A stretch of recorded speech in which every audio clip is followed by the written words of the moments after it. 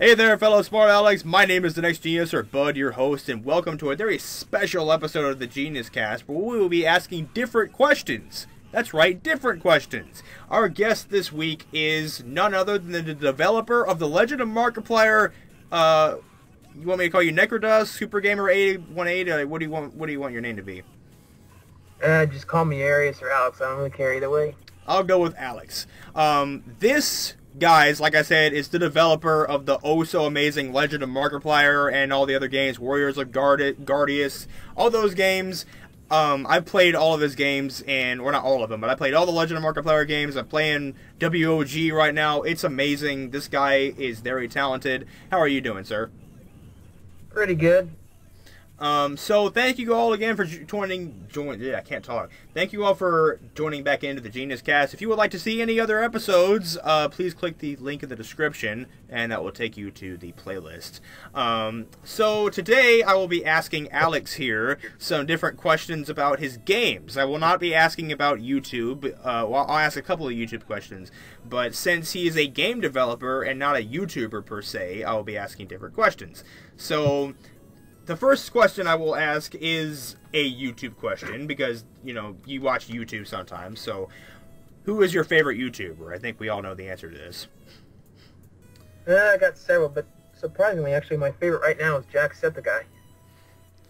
I think Mark just kind of changed a little bit after Daniel Kyre died. Yeah, I agree. So I, my, I really just watch mostly Jack, but I also watch like a Smooth McGroove, uh, CinemaSins, Body Video, pretty much anything that interests me. PlayStation Access. Yeah, I think Jack's one of my favorites too. Like, I, I can see where you get where you got the inspiration for all your um, Legend of Markiplier characters. I remember Smooth McGroove. I actually haven't watched any of his videos. I need to go and watch them. But doesn't he do like acapellas? Yeah, he does. He mostly just does like uh, existing songs. He does like acapella versions of them. He's actually really, really good like he's done One Winged Angel, like any kind of like big popular video game songs. It's a pretty good guarantee he's done them. Did you put um, clips of his songs into Legend of Markiplier? Because I think that's what it sounded like. Yep, every single song that you heard in the area where he spawns is a different one of his songs that he's performed. Dang, he he is good. Like that sounds like like a video game soundtrack. Like he he's really talented. I need to go watch him. But um, so, when did you first start making games? Well, when I ever since I was a little kid, I've like had an interest in like making video games, but I didn't actually start doing it until I stumbled upon actually some ordinary gamers. He played Ao Oni. That's actually what got me turned on to him. And uh, I found a link to RPG Maker, downloaded, it, toyed around with it, and that's really how I got started. Yeah, I played. Uh, I tried downloading RPG Maker and I played around with it for about five minutes and or less and or and gave up because like I could not figure out because I put a door somewhere like I put a cave opening or something and then I tested it and the cave opening didn't work and it was already glitchy and I was like you know what I'd rather just play the RPGs and not have to make them because I give credit to anybody who makes an RPG especially like long games like yours like those are probably very very tedious games to make, especially because you said you made like your um, your earlier games on your really old Windows XP computer. Like, yeah. I, I think my old crappy computer is is bad. Man, try, I can't even think of how you're able to do that with Windows XP. Like, that's ancient. Yeah, especially since the computer was prone to overheating and random blue screens of death. It was a gamble every time I turned it on. Yeah, that definitely happened to me with my old computer. Yeah, my or older computer, like the computer that I had before this current one, um, it was an okay computer, but um, it did shut off randomly when overheating, especially like during recordings. That's when it loved to do it. Like I was right in the middle of recording, and then burp, it shuts off, and then it just it deleted my entire recording, and I had to stop my webcam and delete it, and then restart it. I eventually, this is stupid, but it worked. Um, I put an ice pack under the computer and that worked. It actually prevented it from overheating, and I don't know how that worked or why I thought of that, but it's not stupid if it works. So ever works, man. That's how I see it. I don't know when I got the idea of the ice pack. I think it was one day I was thinking, you know what? I need something cold because if it's overheating, if I put something cold on it, it won't overheat. And I'm thinking ice pack, and so that's why I wouldn't record late at night because I would have to go and get the ice pack out of the freezer.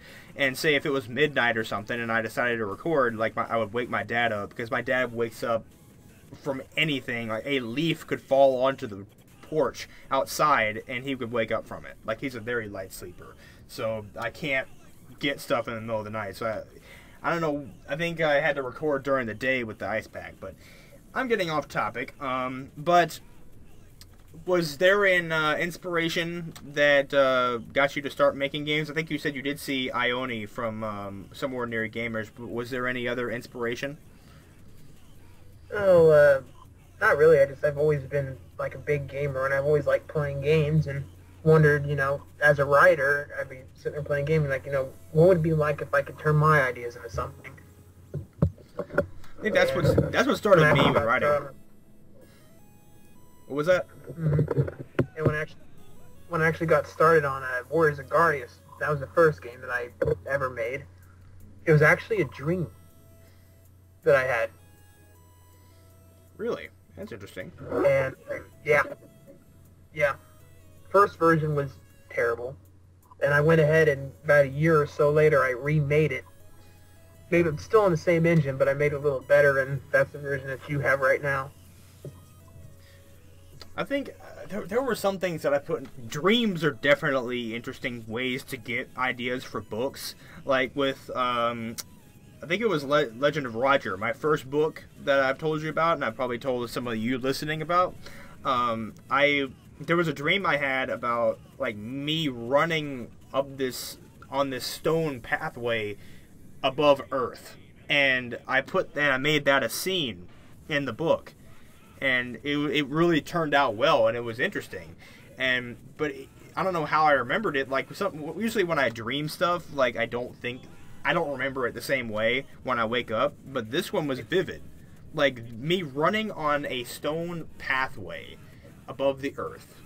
That was it's the strangest thing I've ever dreamed, but it also made a very good book scene. So I guess inspiration comes from anything. Yep. So, um, besides uh, Warriors of Guardius and uh, Legend of Markiplier and stuff, like, what other games do you make? Or I know you mentioned being an author. What, you've told me all about your writing, but to the people listening, why don't you tell them about like your books and stuff? Well, for those of you who have seen or played Armageddon, a lot of that is based off the book series I'm working on right now.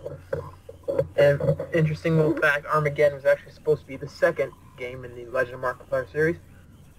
But uh, a lot of like what happens in Armageddon, like a lot of the minor details, and you can actually read in the library to for the other information. But a lot of that stuff came from the writings. And uh, I don't know. I just rather keep about games because it. I'm here. You, you, might you might need to repeat that because I just heard some scraping. I don't think I caught any of that. Uh, I wouldn't.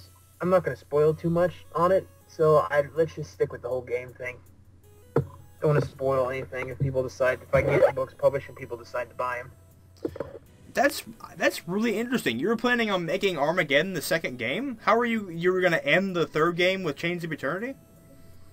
Um, no, Chains of Eternity well, when I started working on Armageddon, because like I said, that was supposed to be the second game in the series. When I started working on it, um, I realized that I didn't have the tile sets that I needed. I didn't have the modern day future stuff.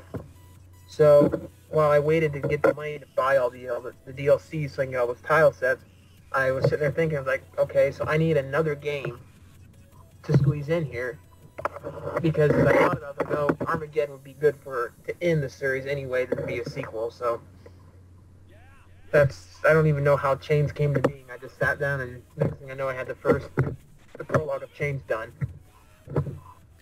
Because when I first started playing Chains, like I um, because I'm not gonna spoil what happens. Because anybody uh, listening who hasn't played the game or hasn't watched my playthrough, like the ending of it like it, or like the beginning and ending of it, it you you don't think that gosh, I don't know how I can say this without spoiling it. You know, I'm just I'm just gonna leave it there. I'm not gonna say what happens, but I didn't think that um, because Tom thinks it's a dream. Like, and I thought it was a dream too. And you know, I, I'm not spoiling it. Anybody who's listening to this, that's not what it is. Like, especially the second game. Like, but like you, you told me that you were planning. You didn't know how the series was going to end until you started Chains, right? I might have known how the series was going to end until I actually started actively working on Armageddon.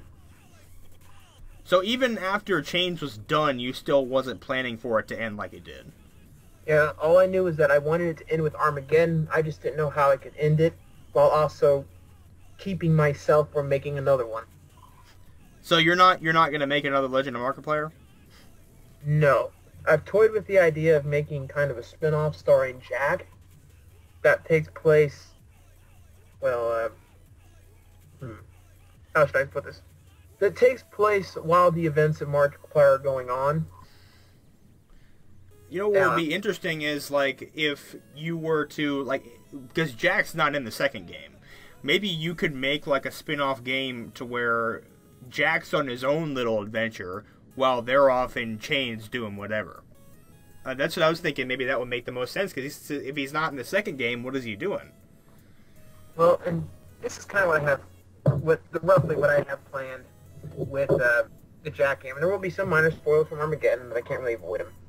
But anyway, and when he's coming back from the uh, convention, his plane gets shot down or gets cra- crash lands in the middle of the ocean. He wakes up on a deserted island, and that's the basic thing I have, but I haven't thought too much into it.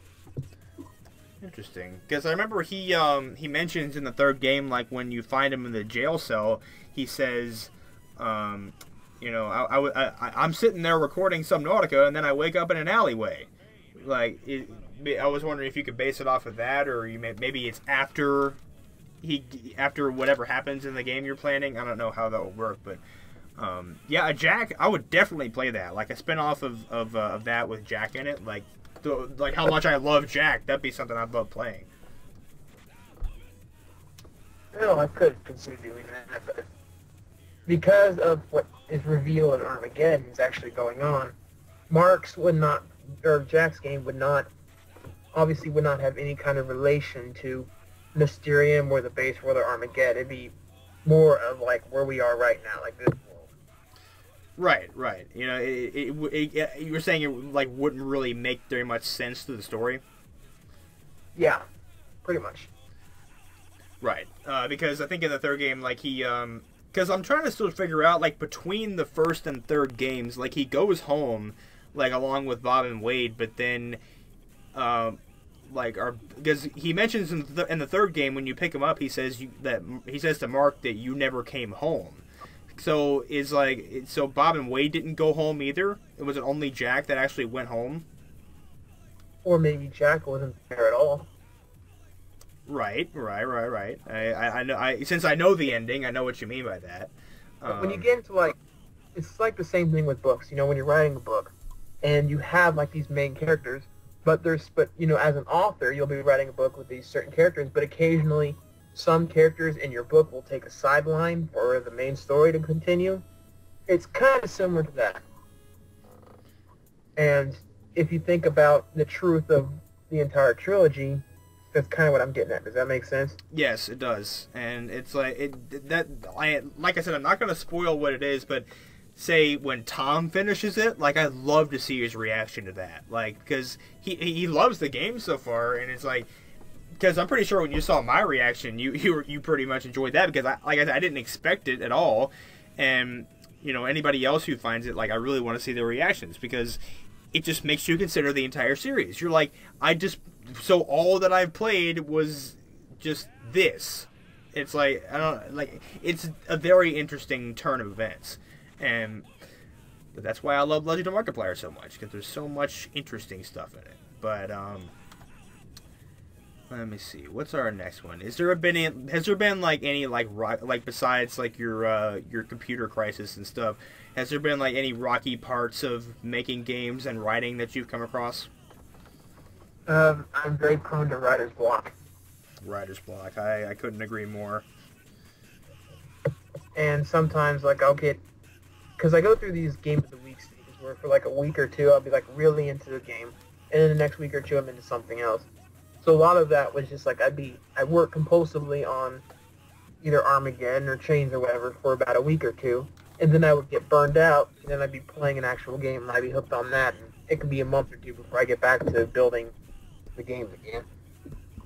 Is that why it took you so long to make Armageddon? Because I remember you said it took you only a week to make Legend of Markiplier the first game, and then it said you took you three months to make Chains, and then like over a year to make Armageddon, right? It took me a week. Yeah, it took me a week to make the first game. It took me, I want to say it was like a month or two to make Chains, and it took me about a year and a half to make Armageddon. How are you able to make the first game in a week? Like uh, that, that's like the game is long, and it's like how how are you? How did you make that in a week? Like I'm really impressed. wasn't that hard. I mean, it's not long compared to later games in the series, and if I have like enough time, I can pretty much. I made about an area a day. I think is what I did. Like I'd have goals that were like, okay, so today I want to get forest done. Tomorrow I want to get the snow area done. That sort of thing. I feel like because I think uh, when I did my live stream on it, like I, I speed ran it and got that done in like maybe two hours. So, but if you just sit back and play it and just like go at a normal speed, it's like three to five hours, and it's like that. That's pretty long. I mean, consider like an RPG game, like something that that's made in a week that takes you five hours to play. That's still really impressive. Like I couldn't do that. Like, and I know that people that have made games, like like a couple of the fan games that have been made for me, like the first fan game that I ever played uh, was Five Nights at Bud's from a guy named Colster. His real name's Colin, but he was one of my earlier fans, and he made uh, he he threw together a uh, Five Nights at Bud's thing, and it took him like a couple of months, and that was only a night one demo. So it does take a long time to make different games, but I guess with your RPG experience, it doesn't take that long for you though. Yeah, because that, that came right on the heels of Warriors of Guardians. So I would have gotten all my, I would have spent all the time I needed to figure out how to use the engine and to test out what works and what doesn't, and most of the bugs and stuff, how to avoid them, I got from Warriors of Guardians, which made Markiplier pretty much really easy to do. But um, is there like, do you for anybody like trying to make RPGs out there? Do you have like any tips for them? Because I know you have a lot of experience with them. Because um, with me, I, I did it for like five minutes. I couldn't do it. But anybody else who's like really trying to make an RPG out there, do you have any advice for them? What I suggest doing is that browse the RPG Maker forums, find games that are not encrypted. That could be like a, I know uh, Five Nights at F Boys isn't encrypted, but find games that aren't encrypted, and if you kind of go into the engine and you look at how the person who built it put it together, you can kind of learn a little bit how things work. I know that um that uh, Sean is trying to make uh, Bud's Quest, which is kind of like a Legend of Markiplier ish thing, uh, based off of me. But it um he tried making the game twice, and both times it corrupted on him. Did you ever run into that? Like any of your files corrupting? Um, no, but I keep like three or four backups, so. That's why I guess I think I think I forgot to mention to him to make backups, but he said that his uh, he'll be starting uh, ninth grade, ninth grade I think, yeah, ninth grade next year, and he's in a, special class to where any video games he makes actually goes toward his high school credit. Man, I wish I was in that class. Man, I wish that kind that kind of class in high school. But uh, he said that the, his school will probably uh, provide him with a nice computer, and he'll be able to make Bud's Quest then. Even though I'll be in college, he'll be able to make it, and hopefully, I'll still be making YouTube videos like around next year. So, and hopefully, I'll be bigger then too. So, um, more people will see it. But yeah, I I think yeah, making RPGs is not easy, and but I'm was it hard for you when you first started, or did you get the hang of it pretty quickly? Well, I was confused on what to do at first, but over time and kind of toying around to see what works and what doesn't, I doesn't doesn't I can't speak. But after toying around to see what works and what doesn't, I kind of figured it out over time. I might try making take... I might try making RPGs again. I might. I'll try it again, and if I still can't get anything to work, I think I'll just give it up for good and just play the RPGs. But because when you have a finished product, what? It just takes a lot of trial and error. Yeah, that's what it, that's what it seems like it does. Mm-hmm. Let's see. All right, so I can't. My questions disappeared. Okay, there they are. Um, what's the thing you like most about making games and your writing? Just the potential of seeing how people react to them, really. I like think I, I was excited see how people would react to the betrayals in the first game and some of the, the big reveal in the second and third game. Yeah, that was my favorite part of it too. Like the the, the reveals. Like anybody who's playing, anybody who plans to play Legend of Markiplier, prepare for shocks because there are a lot of them. Um, but that's I I like that, and I like the um. I, the thing I like about writing, like I told you, is just like writing anything you want. Like if it if it goes into making a game or writing a book, doesn't matter. You don't have to write what people want you to. You can just write whatever you want and just it, your imagination just flows out onto the page and it becomes a story. It's your own story. You can do whatever you want with it. And that's what I always like about my books. Is like I just I finish a book and it's like, dang, that's original and nobody's ever done that before. And it's really interesting. N- would never happen in real life because you know there's magic and stuff in it. But if it did happen in real life, that would be awesome. But you know, I guess that's the fun of it, knowing that it will never happen in real life, but you can make it happen in your book. Well, even with my fantasy stuff, because a lot of the things that I build and that I work on, they're definitely fantasy. They have a lot of fantasy elements. But at the same time, too, I also try to push some kind of scientific explanation into things. If anything, just to make them a little more realistic and a little more believable.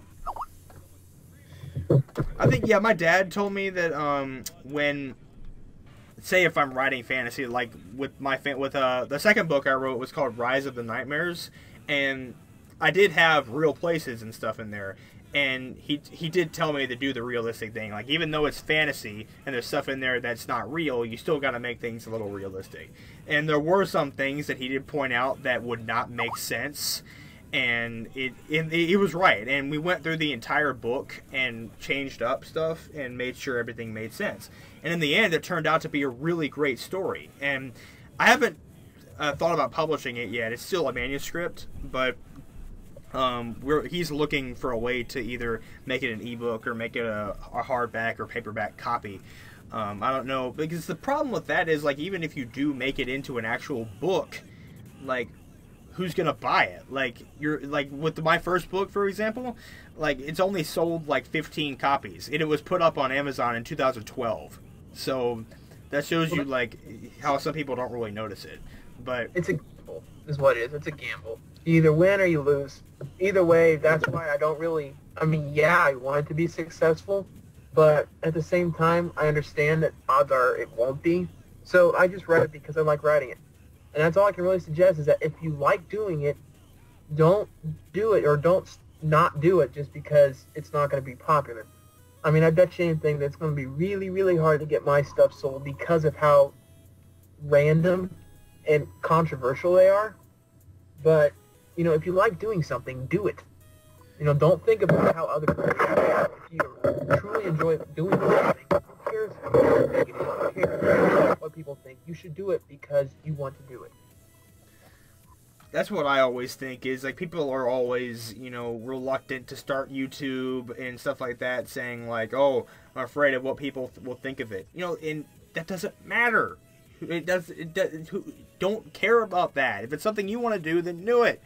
It's like I didn't think about that when I started my, my YouTube. Like when, when I was going through the uh, the crisis of being you know hated on by I'm not gonna name his name, but there was somebody that used that I used to be friends with. Um, God, I don't remember his name. I don't even remember where he was from. But there were a couple people that I was friends with. I had a fallout with one, but I was able to make up with him, and I think we're on somewhat good terms now. Um, his name's Benjamin, I think. But this other guy, I don't remember. God, I don't remember what it was. But I went through a lot of hate, and I was being called a bunch of names and stuff. And I just thought, you know, I'm just gonna ignore it, and it'll go away eventually. And it did go away eventually. But you know anybody out there who's reluctant to do anything because of what they'll what people will think that's don't pay attention to that doesn't matter what people think you do it so think about it this way. It doesn't matter how big or popular something is, or even, it doesn't matter if something's popular or it's not. Everything has its fans and everything has its haters. You're never going to get something that's universally liked or universally hated. Every little thing that anyone can possibly do. Every little thing in the world has fans and it has people who hate it. I couldn't agree more. It's always like that. Any anything like any any YouTuber, any like famous writer, like anybody, they'll always have haters. There'll always be people out there that will not like your work. Like my dad has gotten a couple haters on his books, and it's like he's like, you know what? Who cares? You know, if they don't like it, they don't like it. You know, but yeah, you're you're you're absolutely right on that. You'll never have a perfect like like ratio. There's always going to be some dislikes. Well, and here's also something like for you in trying to get your book published. Think, and if you, because I'm I'm trying to find an agent because book agents will are the ones that sell to the publishers that take care of the marketing, all that stuff. And even if you get rejected when you're trying to get people to read it, think about it this way: J.K. Rowling was rejected eight times before she got her first Harry Potter novel published. I heard that. Stephen King Stephen King was rejected like 16 times before he finally got Carrie published. Damn.